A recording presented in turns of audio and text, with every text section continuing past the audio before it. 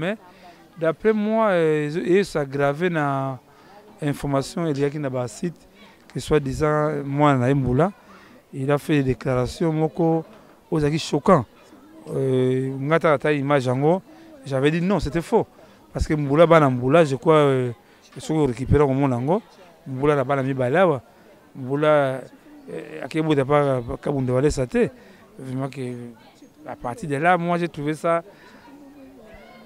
bah, c'est l'investigation na ngai que tout est parti de là. Eza guerre moko eleki entre eh, batamaikari na euh, na bato ya Kabunda Walesa vraiment je crois ezali mpe parmi bamon oyo ememi mama na liwa mbangu mbangu image oyo mbulas beta loba wana eza parmi ya base ya polina ya maladi oyo natundi polina ese biloko ya pepe kale ozongisa yango biloko ya pepe kale ezalaka mpa na ngai neti nga ntango nayoki yango bamonaki nazwaki telefone mona bengi joli bebe nazwaki ete natikeli message na répondeur joe mpe ntango ayaki message wana abengi nga mbala moko abina maba makambo nayoki na répondre otikeli nga nini ngabi kaka ndeko kimeka kufa be ntango mpe noko ayaka message wana nabenga dokolos nayebisi ye dokolos mpe aye kobenga mwana mosusu aka na poto wana adamo Congo lipanda oh.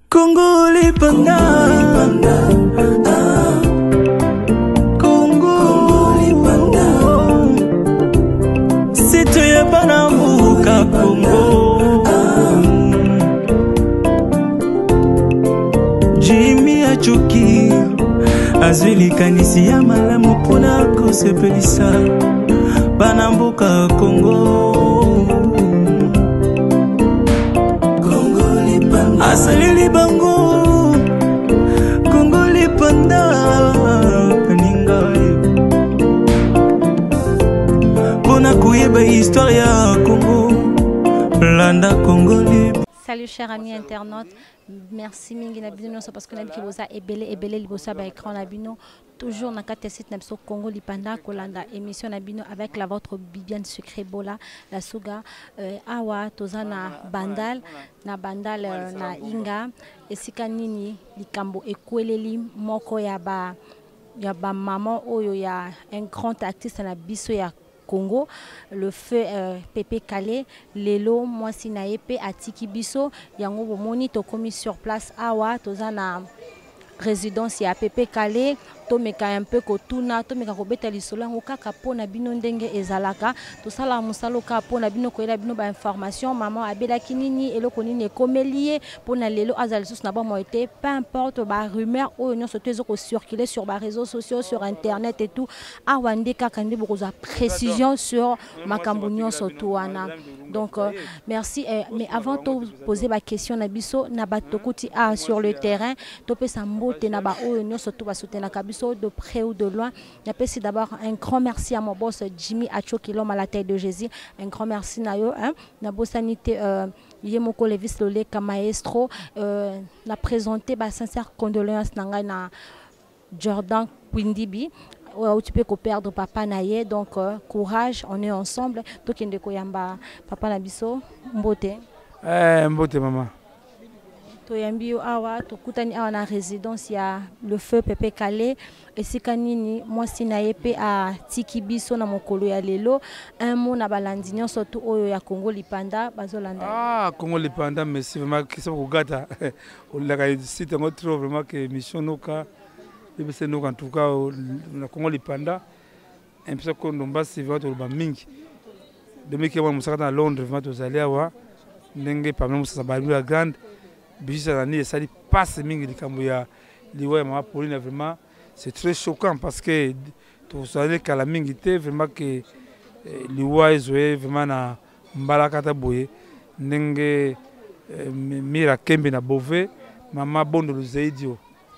eh, mapasi mingi eh, est ce que maman abelaki malade na ye ezwi temps ebele parce que balobi ke bainformation ya malonga tozongi kaka mpa na yo parce que ozalaki vraiment proche ya maman cas souffrance azalaki déjà mwa souffre banda kala mais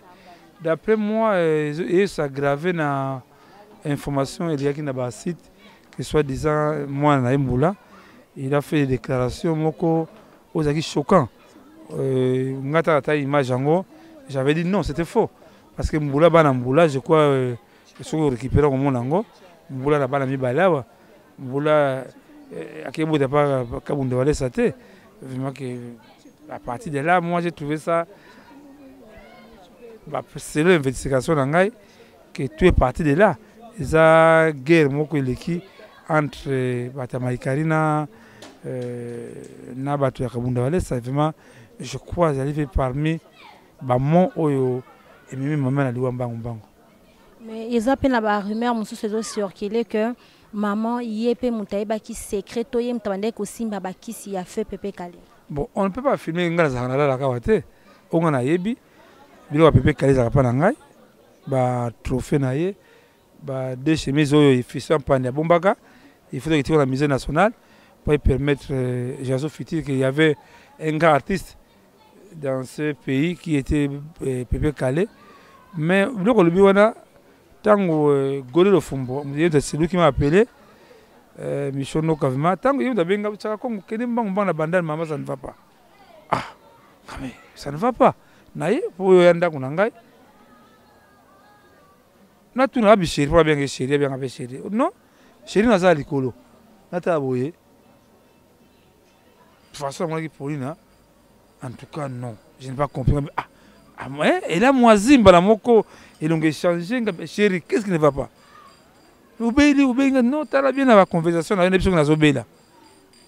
natali mpe la conversation ya juste makomelaki ngai mbala moko ngabi ah image oyo mbula beta aloba wana eza parmi ya base ya polina ya maladi oyo natuni polina ese biloko ya pepe kale ozongisa yango abi papa nazongisa nasali tuna bimise verité vraiment towumeli na ngabi te mama ayebisaki no me bakiti ba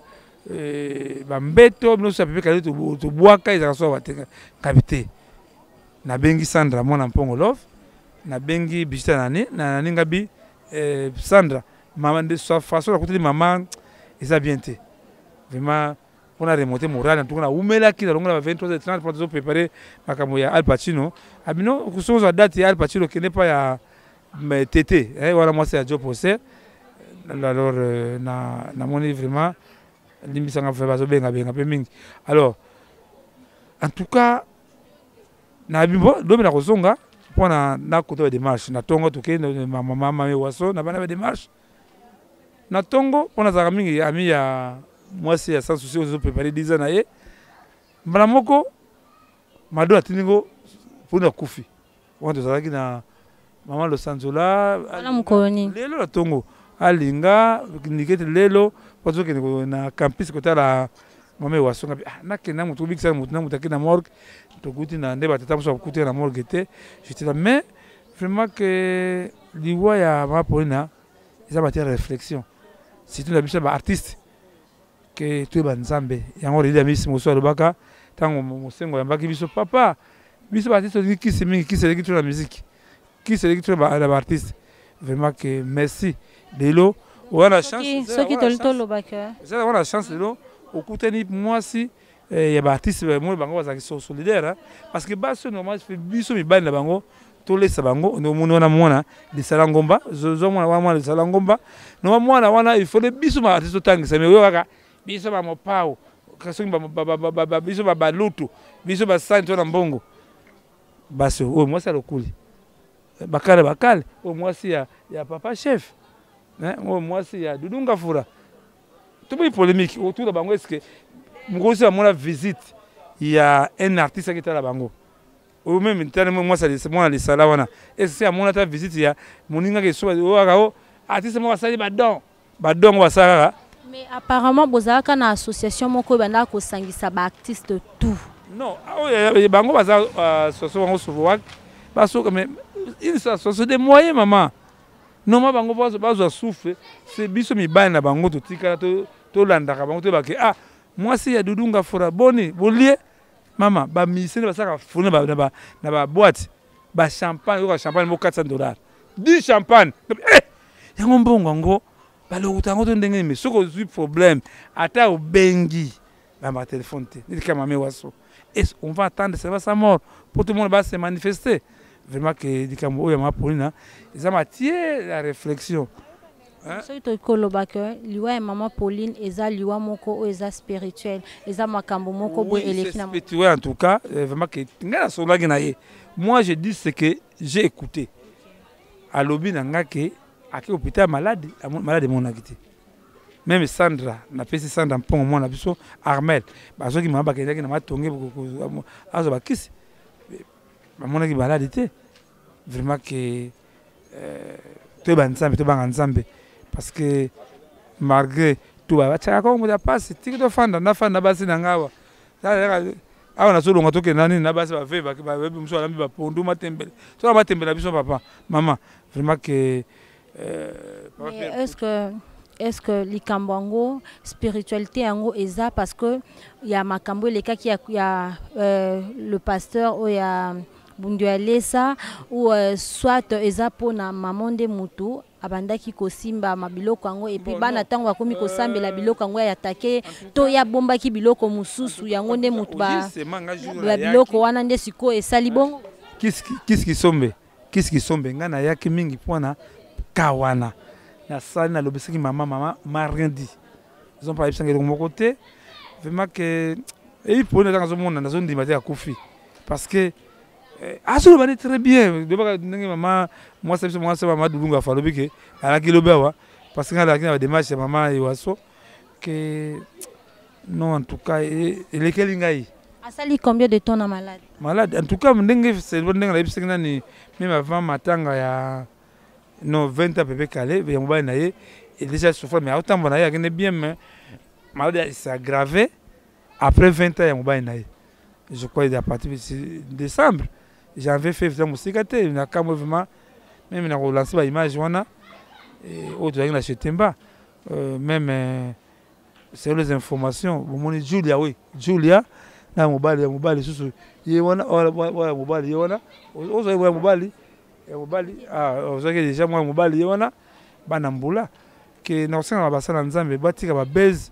na makambo ya vie ya bato ozompana moni lelo neti ngai parmi bacause oyo nazoloba ya nde yango wana mais quand j'avais vu video ya mbula asalaki j'avais déjà nayebi makambo na bango te mais mpo na kobota mbula abota avant akende poto mpo akendaki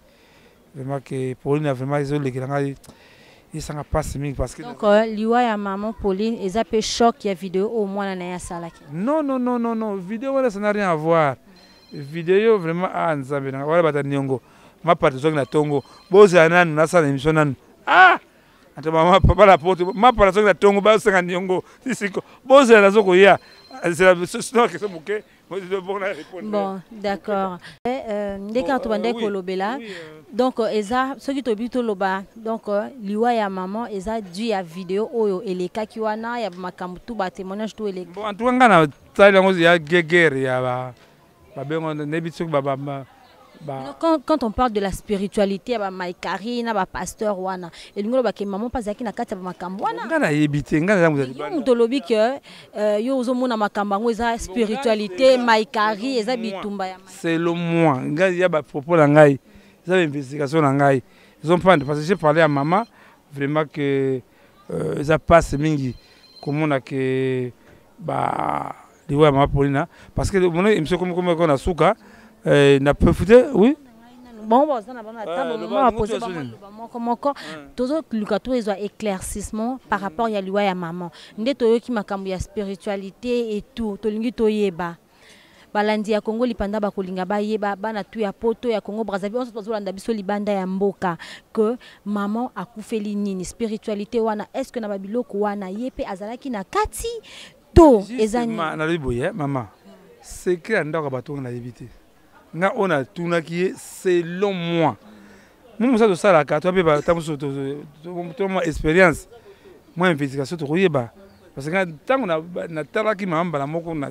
nayaki salon yo ocomprenaki mama eza makambo moko eza spirituel oui oui oui abi malade ezomonana te lobiso obengaka eza attaque ezalaki attaque eza attaque du ya makambo wana alors je crois que Euh, Sandra Bumba mambo ya mapuni na vraiment ya matière ya réflexion que papa Pierre Mputu na nove ekoseka maman toyebi que papa papa euh, le fait Pepe Kale azalaki euh, un grand artiste aza monima oyo moko abinisa asala makambo ebele na mboka mais depuis toye awa namoni euh, nayebi te mais tomoni tomoni présence ya ba artiste te euh, qu'est-ce que c'est Pania Fisa Pania azalaki wana mwana ye tomonaki mpe Gino Lasmo ya Fally ye baza azangaka te euh, bon. parce que les gens voient seulement l'argent neti awa na kolongwa bana bazozela nga na ndako nga pa bato natongo na nafuti kutu te lo nazaka bademarche yango nakoyebisa na baartiste basorganise mwa kesi moko ezalaka mais les artistes ne veulent pas cotiser de toute façon ndenge ozali entouré awa ozali chance eh, siko soki bana poto balingi basunga batinda mwa quelque chose wana bakoya epanalongola eloko alonga eloko alingaka eloko na sute longola wana buzoba kokodi oko alakaki liboma wa ah. kokodi oko tobikisi liboma azofinga so miyibi alors alingisi biloko poto ya bato buzoba wana te eh, bana kutuna kozwa bana na ye bakoko na ye do le numero Et moi je ne suis pas là ngai na ye ko soutenir ba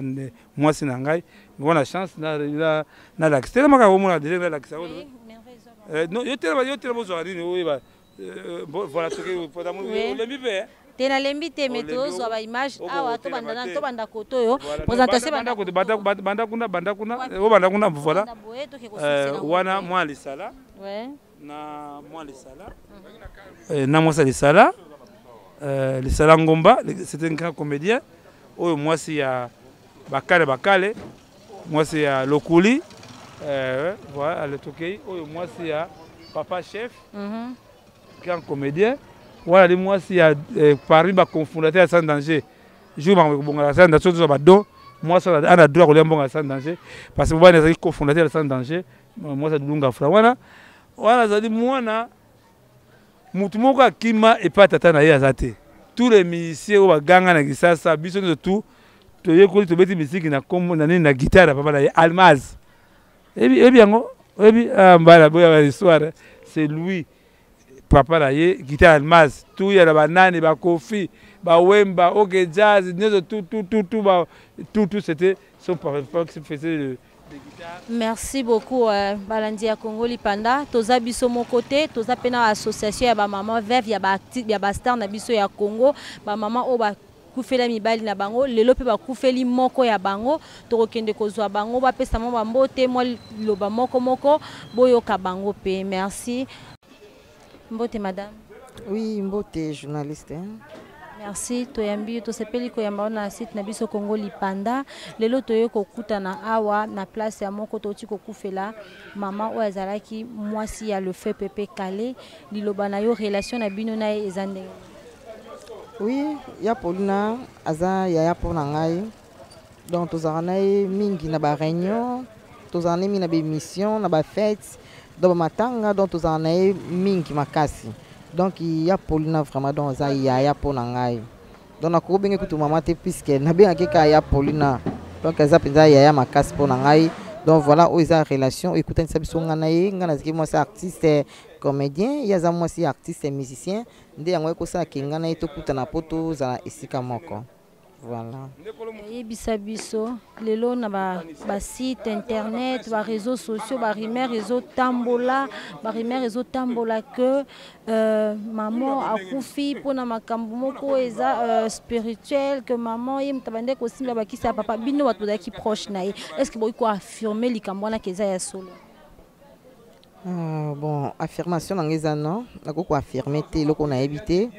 Nayebi ke ya Paulina eh, abeli puisque ebandaki mwa kala toza souvent so tovandi abanda koka souvent mikota to lopasi ntango mosusu liboko ndoso ye bacrampe mwa mingi akodeklare liboko crampe crampe biso kuya defois moto bia aya pono mpo olembisi biso kende nano hôpital oke kotala yango bon souvent abanda kokende hôpital maladi abanda komonana te abanda kokende azozonga maladi ezomonana te et ce dernier temps jeudi ka awa nde maladi emonanaki ke bazoki problème ya poumon na cœur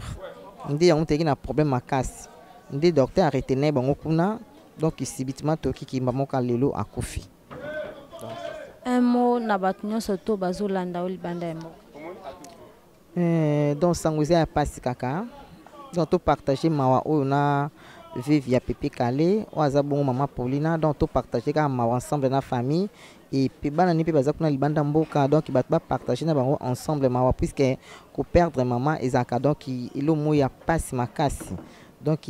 eza loka bazangi papa bazangi pe na mama donc to partager na bango eh, douleur wana puisque sono nokufela te oyeba douleur te donc soki okufela nde oyeba douleur oyo bango baza nango na famille eza nango donc to partager ka ensemble douleur oyo elo nakoba ka yango wana merci beaucoup eh, mbote maman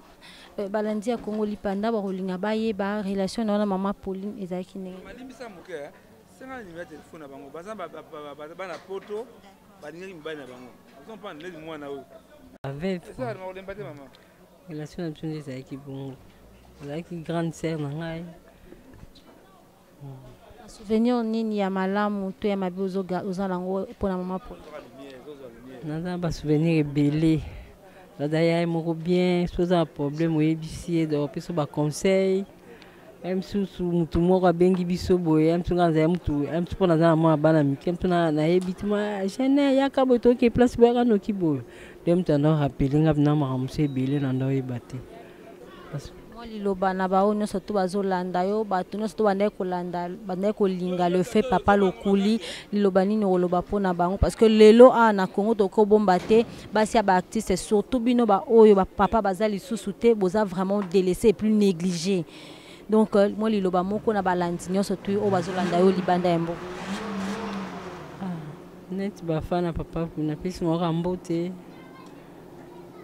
baoyo bakanisaka mwa bana bazali mwana bafeti babengi mama leka mwa place mpe ozwa mwa quelque chose oyo bakanisaka mpena na bana poto bazali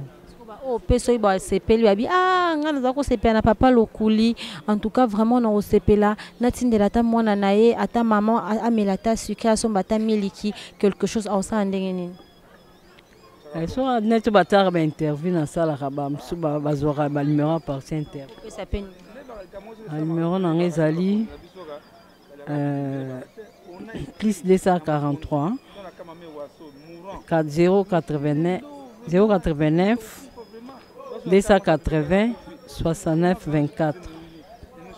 merci beaucoup awa toza toujours kaka awa na ba maman association ya ba femme veuve ya ba artiste awa toza na maman mwasi ya papa chef mbote maman mbote papa maman awa toye kokutana esika nini to perdre maman pauline balobi azali moko ya association na bino ya ba maman un mot par rapport ya likambo wana Nde likambo moko ya mpasi na motema, mpasi makasi koperdre moko na biso tokomonana su te. Azalaki mama moko malamu na kati ya association, azalaki mama moko azopesa baconseil ya bien, baide ya bien. Lelo toperdre ye eza mpasi. Euh, na kati ya association mama Pauline andaki kojoue role nini? te azalaki mpenza mama na kati ya lisanga so bovandi bosolola ozomona mpenza ke aza mama oyo aza na baide ya bien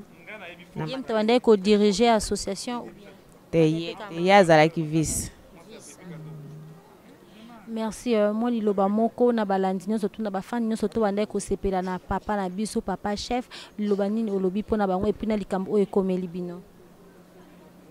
Te, soki koloba mpo na papa, nasi naloba ebele. Naza na likambo ya koloba kote ya papa te. Likambo toza na yango sikoyo eza oyo epesi biso mpasi oyo. Nayebi ke na bato mpe ya poto baza kaka na mpasi. Donc, Nzambe kaka abatela biso nyonso na bango. Tokomi kokoma na suka ya emission na biso ya lelo. Esika nini tozalaki? Place ya. la na résidence ya feu pepe kale oyo maman susu mwasi ya pepe kale auti kotika biso tozwa kaka mwa batémoignage ya bato oyo toyei kokuta katikati na esika oyo toyeba maman abelaki nini qu'est ce qui s'est passé hein? donc bino mo bozolanda bino mo bozo comprendre eloko nini ekomeli mama mbote madame mbote soki kose présente balandi ya kongo lipanda bayeba yo Oui, nga kombo na ngai Pichuna, mama Pichuna Almaz, naza mwana ya fe papa Almaz oyo azalaki kosala ba guitare na RDC mobimba. Ba musiciens nyonso banda epoque ya Luambo, papa Wemba ti ba JB nyonso babeta guitare Almaz apa bakoma oyo baza lelo babandela na ba guitare ya papa na ngai. Lelo tomoni yo na kati ya esika oyo tolingi toyeba relation na yo na mama Pauline ezalaki ndenge nini? Relation na ngai na mama Pauline ezali vraiment makasi parce que ntango papa na biso akufaki bayaki ko- kobenga mama ya kokota na lisanga na bango epuis biso bana tomonaki ke tokoki kozala esika mwana bamama te nde biso mpe bana tosala association na biso babenga yango maracine eza mpona bana baartiste nyonso ezala oza musicien peintre oza mwana ya, ya, ya moto nyonso okoki asala art na rdc nde tosalaka solution na biso mai lokola ngai naza mwana bandal naza pembeni awa donc oyo eza ndako na nga nayaka awa de temps à temps ata toza na réunion toza na réunion te nalekaka awa basouvenir eza ebele apesanga baconseil ebele ayamba bato bien donc euh, ezolekela nga kutu ezwi nga kutu na kati ya matanga donc nayoki yango kaka na matanga donc ezolekela nga makasi Merci. Un mot na bato nyonso to bazolanda yo. Euh, tongaki toloba mpe likambo moko par rapport ya barumeur oyo ezo kotambola ke maman Pauline euh, akufi liwa moko mysterieux du ya bakisi abombaki biloko ya papa pepe kale yo moto ozalaka mingi mingi na mwa ndako yo moto okoma mpe lokama mwana ndako liloba nini okoloba non wana eza nango kaka bilobaloba ya rdc oyo biso toyebi toyebi ke mama abelaki estoma